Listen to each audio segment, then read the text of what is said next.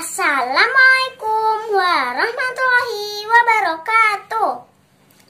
Hamdan wa syukron lillah Solatan wa salaman ala rasulillah. Amma ba'du. Teman-teman yang berbahagia Perkenalkan nama saya Inas Saya akan membawakan tausiah yang berjudul Sahabat Quran.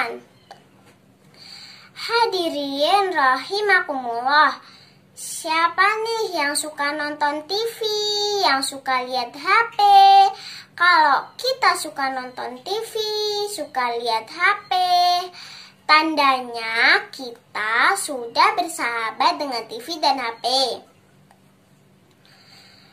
Teman-teman, juga ada loh sahabat yang menjadi sahabat yang menjadikan kita anak yang solih-solihah yaitu Al-Quran. Allah berfirman di dalam surat Al-Baqarah ayat 2. A'udzu billahi minasyaitonir rajim. Bismillahirrahmanirrahim.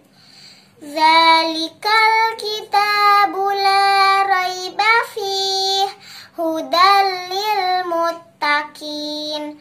Artinya, Al-Quran ini tidak ada keraguan padanya, petunjuk bagi orang yang bertakwa. Al-Quran ini juga juga menjadikan kita orang yang terbaik. Rasulullah bersa Rasulullah bersabda Khairukum man ta'allamal Qur'ana wa 'allamahu. Artinya sebaik-baik kamu adalah orang yang belajar Al-Qur'an dan mengajarkannya. Jadi gimana nih? Siapa yang mau belajar dengan Al-Quran?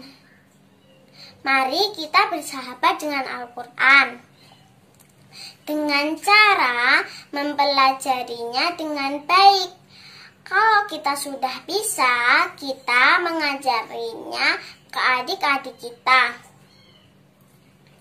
Teman-teman, sampai di sini dulu ya. Pak Paiman makan ketupat. Demikian yang, yang saya sampaikan. Semoga bermanfaat. Wassalamualaikum warahmatullahi wabarakatuh.